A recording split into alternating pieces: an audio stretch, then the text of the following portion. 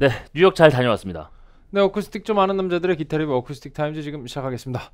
네, 뉴욕 정말 꿈 같은 시간을 아우, 잘 보내고 돌아왔습니다. 꿈꾼 것 같아요. 네. 지금도 꿈꾼 것 같아요. 네, 그 대단한 제작자들이 모이는 맞아요. Woodstock Invitational Luthiers Showcase에서 저희가 그 아티스트로 네. 어, 무대에 서는 그런 영광을 누리게 됐는데 거기서 이름만 들으면 정말 입이 떡 벌어지는 세계 최고의 제작자들이 그쵸. 그냥 눈앞에서 그냥 살아있는 모습으로 보니까 맨날 그쵸. 헤드 헤드에서 텍스트로만 봤잖아요. 근데 그 사람들이 살아서 움직이는 거 보니까 너무 신기하더라고요. 첫날에는 엄청 신기했고요. 네. 둘째 날은 친해져가지고 막 어. 이야기하고 막 장난치고 이랬거든요. 그래서 어, 이게 이게 맞나? 어, 이게 현실인가? 어, 어. 그런 생각을 막 했죠. 이런 생각이 들었죠. 그래서 뉴욕에서 무사히 잘 다녀왔고요. 뭐 물론 거의 관광은 못했지만 관광에 대한 아쉬움이 하나도 없을 네. 정도로 없었어요. 정말 불태우고 왔습니다. 하루에 한 4시간, 4시간 정도 어. 잤던, 잤던 네, 것 같은데. 네 시간도 자면서 진짜 네. 하루 종일 기타 치고 인터뷰하고 맞아요. 예. 아, 전 하루 종일 기타 칠 수 있어 가지고 되게 행복했어요. 하루에 무슨 14시간을 기타를 치더라고요. 미친 사람인 줄 알았네. 진짜. 기타를 행복했어요. 진짜 치는 걸 정말 좋아하는구나를 음. 다시 한번 느끼는 그런 시간이었는데 저희가 이번에 이제 뉴욕에 다녀오면서 어, 또 여러 가지 그 하이엔드 브랜드들을 보고 custom 네. 기타들을 보면서 시야가 정말 많이 넓어졌잖아요. 맞습니다. 그래서 뭐 혹자는 이런 걱정을 하시는 분들도 있어요. 요새 저희가 또 어쩜 채널을 운영을 하다 보니까 음. 어쩜 채널에서 그 하이엔드 기타들 막 비싸게는 그렇죠. 7천만 원, 8천만 원, 그렇죠. 뭐 뭐 하이엔드 기타 싼 거라 그래봐야 한 2천만 원. 그 정도 어. 선의 기타들을 계속 다루다 보니까 눈이 눈 높아지고 이제 귀가 비싸져가지고 이제 음. 버즈비에서 하는 그런 싼 기타를 리뷰하기에 어려워진 거 아니냐라는 이런 걱정을 하는 그런 시선들도 있는데 오히려 저희가 그 영역을 모르고 여기서만 세계관을 갖고 있을 때보다 이쪽 영역까지 보니까 더더욱이나 초심자 영역의 중요도가 더 이제 잘 보여요. 오히려 더. 잘 보인다라는 느낌? 이게 저희가 알고 있었던 세상 이 위로 이만큼의 세상이 있다는 걸 아니까 오히려 더 시야가 넓어져서 네. 어 엔트리급의 중요도와 이것이 가져야 하는 어떤 덕목에 대해서 어. 더 근원적으로 고민하게 되는 계기가 된 것 같습니다. 이번 여행이 음. 여행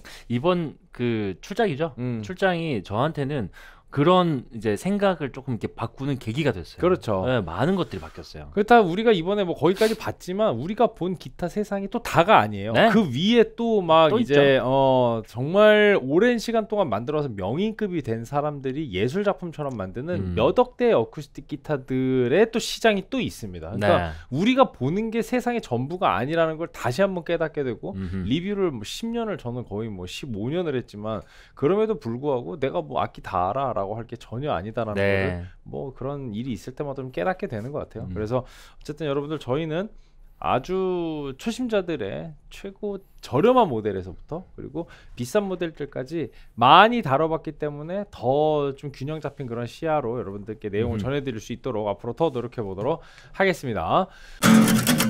어, 여행용 기타 이번에 안 그래도 저희가 뉴욕 가면서 또 가지고 갔잖아요. 가져갔어요. 저희 맞아요. 네. 이번에 모가비 기타를 가져갔었는데 그 여행 여행을 실제로 다니면서 쓰다 보니까 이게 기내 반입이라는 게 진짜 굉장히 중요한 이슈라는 거를 편하죠. 예, 기내 반입이 되니까 가지고 다닐 수 있는 거고 이게 수화물로 보내면은 이제 아주 높은 확률로 아주 80% 높은 확률로 망가지기 때문에 저희가 이제 가서 이제 수화물로 맡기려고 보니까 오 이거 들어가면은 이게 좀 위험할 수도 있는데 그래서 제가 아 뭐 괜찮아요. 그냥 넣어주세요. 그랬더니 어, 망가져도 돼요? 아니 망가지면 안 되죠 당연히 질문이 너무 충격적이었어 정말 어. 웃겼어요. 그래서 그분도 80, 당황하셨어요. 어, 80% 이상의 확률로 망가질 음. 것 같다고 하- 해서 이제 제가 그냥 갖고 탔는데 그렇죠. 하드 케이스도 아니었어요. 아, 하드 케이스도 아니었으니까. 그러니까 그 기내 반입이 된다는 게 정말 엄청난 메리트란 말이에요. 그럼요. 근데 그게 약간 좀 그 간당간당해. 음. 항공사에 따라서는 이거 3변 다 재고 막 전화하고 맞아요. 알아보고 막 이러고 넣어주고 막 이런 물론 한 번도 이제 반려가 된 적은 음. 없습니다만 근데 이건 그거보다 더 작은 느낌의 여행용 기타이기 때문에 맞아요. 정말 그런 좀 쫄리는 느낌까지도 없애고 싶으신 분들은 아예 이렇게 음. 더 작은 compact한 여행용 기타로 가시는 것도 좋을 것 같고요. 가격도 너무너무 착하게 잘 나왔습니다. 네, 울트라 가성비 silent 어쿠스틱 기타 Donner의 어쿠스틱 기타 Hush One 오늘 저희가 같이 리뷰를 해볼 거고요. 저희도 보고 너무 반갑고 실제로 외국 나가면서 기타를 계속 휴대용 기타를 가지고 다니다 보니까 이게 땡겨요. 딱 음. 보니까 오 이것도 괜찮겠는데. 왜냐면 이제 그 접이식의 장점이 있고 또 이렇게 아예 compact한 through neck으로 바디 붙이는 형태의 또 그렇죠. 장점이 있죠. 얘는 이게 짧진 않지만 맞아요. 여기가 compact하다 보니까 이거 뭐 기내 반입에 전혀 문제가 없고 오히려 더 뭐 들고 다닐 때 착용감은 더 가벼운 느낌. 약간 오해받을 수도 있을 것 같아요. 총 가방이라고. 나 약간 총 같은 느낌도 있고 또 이렇게 네. 들면은 우리 도끼 같이. 토마호크 진짜 도끼 같이 생겼어. 느낌. 빡 그리고 한 손으로 이렇게 케어가 가능할 만큼 무게가 가볍다는 거. 네, 그렇게 가벼워요. 그렇습니다. 좀 정보를 살펴볼게요. 반려 기타라는 이제 wording을 가져왔어요. 반려 기타. 반려 무겁고 기타. 불편한 건 모두 털어냈다. 어, 여러 가지 개선점들을 이제 얘기를 해주고 있는 게 전 세계 16개 디자인 award를 수상한 Donner 디자이너들이 설계를 했다 이렇게 음. 나와 있어요. 바디 프레임에 대한 얘기인데 1954 Strat을 오마주해서 바디 음. 프레임을 짰습니다. 그래서 딱 잡았을 때는 어쿠스틱이라기보다는 좀 일렉, 일렉보다도 그렇죠. 더 작은 그런 느낌의 착용감을 보실 수가 있고요.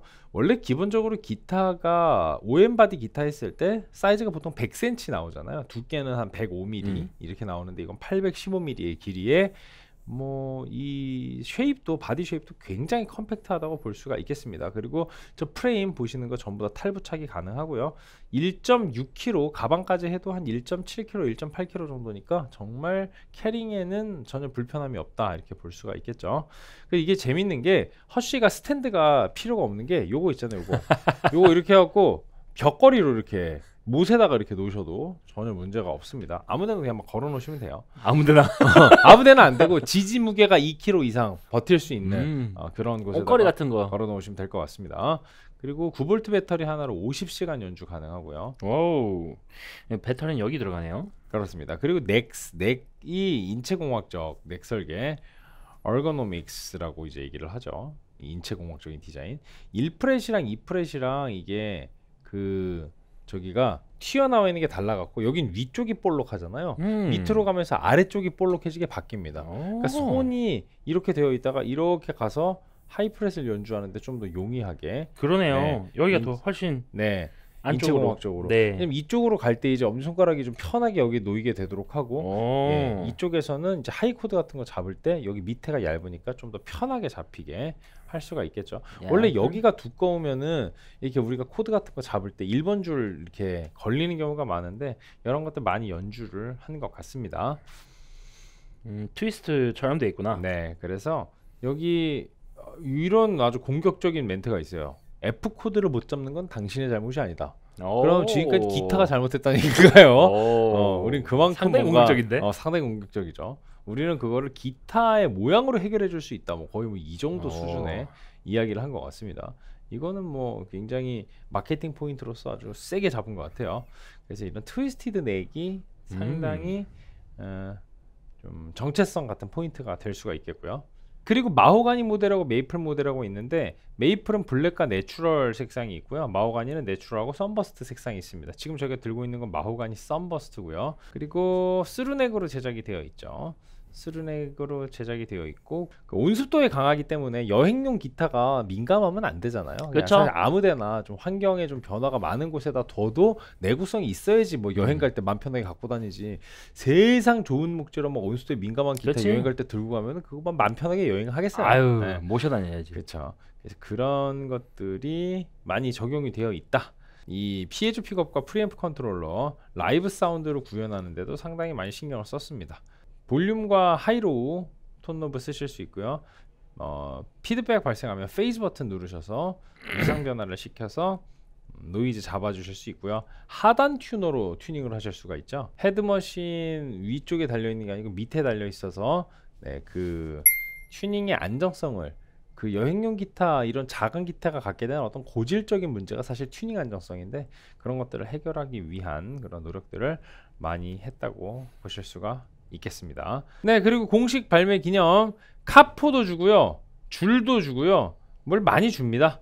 네, 그래서 어, 이번 기회를 잘 잡으시면 좋을 것 같은데 심지어 가격이 40만 원이 안 돼요. 오. 이런 스펙을 갖고 있는데 39만 8천 원. 오, 굉장히 매력적이죠. 괜찮네요. 이런 게 아, 가장 중요한 가격 경쟁력이 아닌가. 원래 Donner가 또 가성비 브랜드로 유명하다 음. 보니까 네, 이것도 기타 가격이 아주 좋게 나왔습니다. Made in China고요. 전장 81.5cm, 무게는 1.61kg, 두께는 29mm입니다. 아주 얇죠. 구 fret 뒷둘레는 81mm. 의외로 저기 뒷둘레는 좀 두꺼워요. 두껍죠. 이건 9 fret 아니고 12 fret입니다. through neck이라 10이 될 수가 있었어요. 측후판은 마호가니나 메이플, 그리고 matte finish 적용이 되어 있고요. neck 역시 마호가니 메이플. 네, bone nut에 너트너비 43mm, 지판 아까 말씀드렸던 그 고온 고압 압축 패널 HPL이고요. 지판 곡률 반지름은 240mm, 스케일 길이 628mm, 20 rounded frets에 프리앰프는 피에조의 원볼륨 투톤의 파이 페이즈가 있습니다. 그리고 브릿지 역시 같은 재질입니다. 지판과 같은 HPL 재질. 그리고 이어폰 멜빵 string 튜너 capo 사은품 드리고요. 자 그리고 튜닝이 여기서 가, 이거를 빼가지고 해요. 음. 이걸 빼가지고 여기 보이시죠? 육각 렌치 넣어서 여기다가 이렇게 넣어가지고 튜닝을 하게 됩니다. 네. 음. 좋네요. 그러면 이게 어떻게 되어 있는지 케이스부터 보여드릴게요. 케이스 보면은 이런 식으로 오 정말 컴팩트하고 가볍습니다. 이거 보시면 아시겠지만 이 양쪽 날개가 이제 음. 빠지는 거죠. 이거 까면은 어떤 식으로 되어 있는지 한번 볼게요. 자, 이렇게 되어 있죠. 이 상태에서 이 앞에 보면은 이 파우치 안에 요 아랫단이 들어가 있습니다. 자, 이렇게 한 다음에 이걸 꽂아서 이 뒤쪽에다 렌치를 고정을 시키는 겁니다. 고, 이렇게 해서 저 고정을 하는 거죠. 렌치 고정 안 시키면 이렇게 돌아가요. 네, 여기 앞이에요. 네, 그리고 자 여기 기타 안쪽에 이렇게 또 그렇죠. 여기도 마찬가지로 두 군데. 요건 두 군데니까 돌아가진 않겠죠? 자, 요렇게. 자 이렇게 됩니다. 이렇게 해서 이렇게 자 이렇게 조립하시면 되는 겁니다. 이렇게 자 얘는 고정시키면 됩니다. 네 사운드 들어볼게요. 네, 일단 뭐 사운드로는 없지만 그래도 날걸 한번 들어보겠습니다.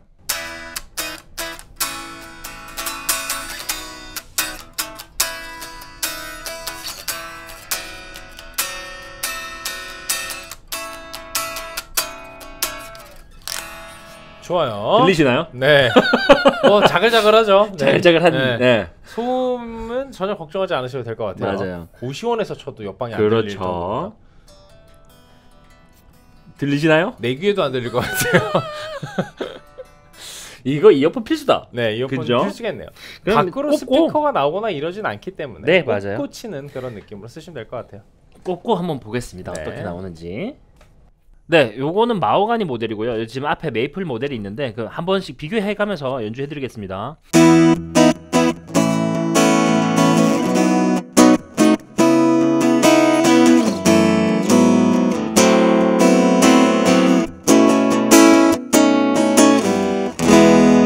소리가 한번 잡아 볼게요. 지금은 약간 어쿠스틱 같은 질감은 좀 아니기는 해요. 그죠? 네. 예, 느낌 자체가 약간 일렉 같은 느낌이 좀더 강하죠. 중음 좀 빼볼까요? 네.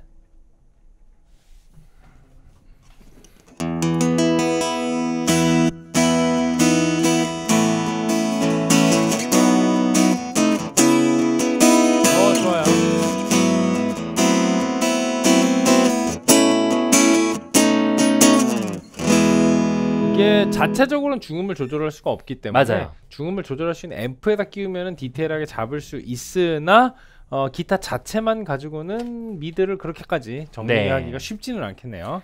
그래서 자. 뭐 완전히 어쿠스틱한 톤이라기보다는 일렉과 어쿠스틱이 미묘하게 섞인 소리가 납니다. 예, 이 형태만 봐도 약간 네. 일렉에 가깝기 때문에 그렇습니다. 네, 이번엔 메이플 나요. 블랙 색상입니다. 지금 마호가니였고요. 네, 둘 다 중립으로 두고 한번 가보겠습니다.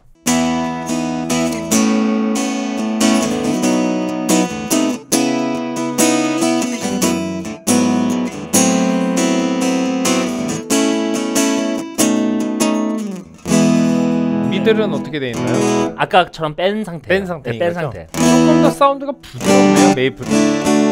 그쵸 그런 느낌이에요. 이게 그 뭐랄까 어쿠스틱을 상상하시면 안 될 것 같고요. 음, 제가. 생각할 때는 이거는 뭐랄까 어쿠스틱 줄을 단 일렉의 느낌. 네, 그런 예? 것 같습니다. 네, 그죠.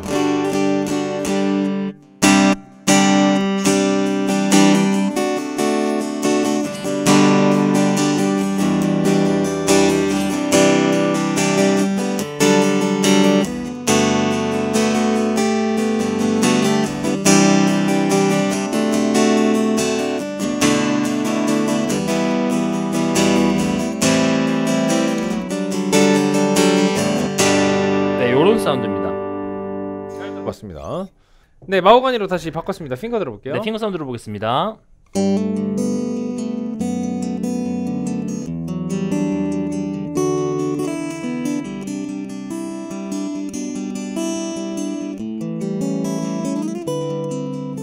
어때요? 그 확실히 그 계속 그 느낌이에요. 편하게 소리가 잘 나고 좋은데 전형적인 어쿠스틱 기타 소리에 포커스가 맞춰져 있는 건 아니다. 어. 네. 말 그대로 그 뭐랄까 사용하기 편하고 음. 들고 다니기 편하고 그쵸. 소리가 난다에 음. 집중을 하는 느낌. 네. 네, 그럼 이건 어떤 곡 들으실 건가요? 네, 요거는 그 우리 인우와 함께 작업했던 선물 들려드리겠습니다. 선물 듣고 오겠습니다. 뿅.